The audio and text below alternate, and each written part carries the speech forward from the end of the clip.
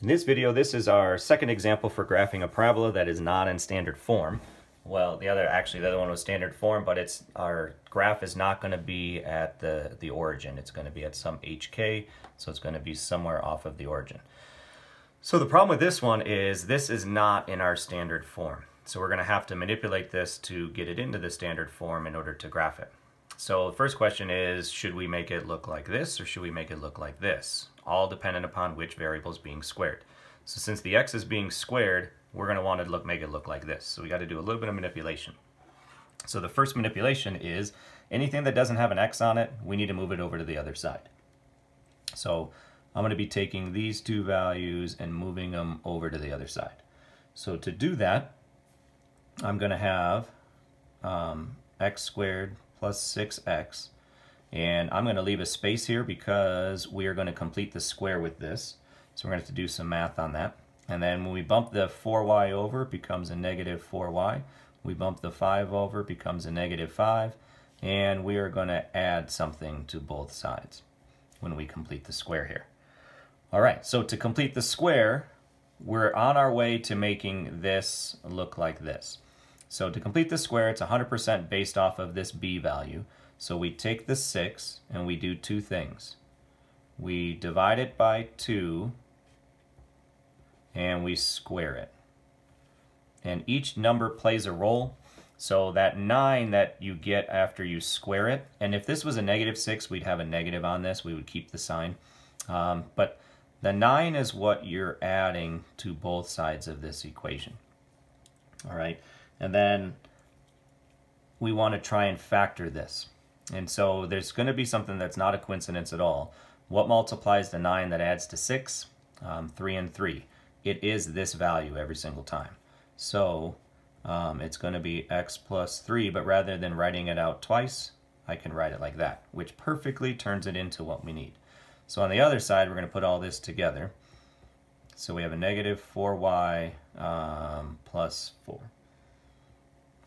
Okay, so this that's not quite like this yet. It's this negative 4 that's sitting here attached to the y. So there's one last thing we have to do, and that is we have to factor out the negative 4.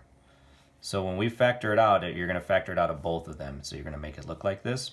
So that's going to be a y minus 1. And that is your standard form. x plus 3 squared equals negative 4 y minus 1. So that's what we need in order to pull all the information that we need out of it. So this is going to give us our vertex. So our vertex is left 3 and up 1. Okay, so this graph is going to start left 3, up 1. All right, I got that so far. Uh, our focal point is going to come from this negative 4, but remember that this is the 4p piece. So I take 4p, set it equal to negative 4, whatever that value is, and find out what p equals. All right, p equaling negative 1.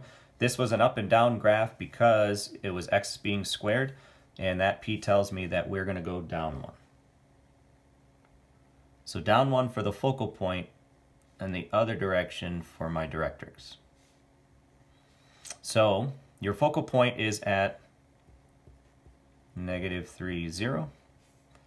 And then um, remember that whatever that distance is between them, it's out the exact, uh, if this is 1, then you're going to double this distance out.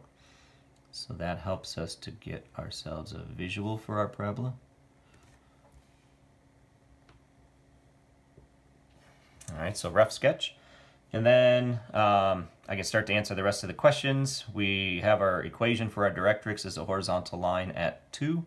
So then it's just y equals 2. And then our axis of symmetry is cutting right through the graph. So that is going to be at x equals negative 3. Okay. And there is our graph of our um, parabola that was not in standard form, but we had to manipulate it by completing the square to get it into standard form, and then do all the pieces. All right.